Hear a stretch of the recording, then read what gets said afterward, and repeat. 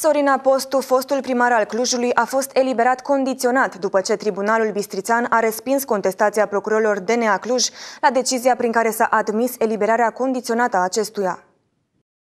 Sorina Postu a părăsit în cursul după amiezii penitenciarul Bistrița, unde era închis din februarie anul trecut. Judecătoria Bistrița a admis la începutul lunii aprilie cererea de eliberare condiționată a fostului edil, dar procurorii DNA au contestat decizia. Tribunalul Bistrița Năsăud a decis astăzi să respingă această contestație. Decizia judecătorilor este definitivă. Sorina Postu a fost reținut pentru fapte de corupție în noiembrie 2011. În alta curte de casație și justiție l-a condamnat definitiv în iulie 2014 la patru 4 ani și 6 luni de închisoare cu executare pentru luare de mită, spălare de bani și fals în înscrisuri sub semnătură privată.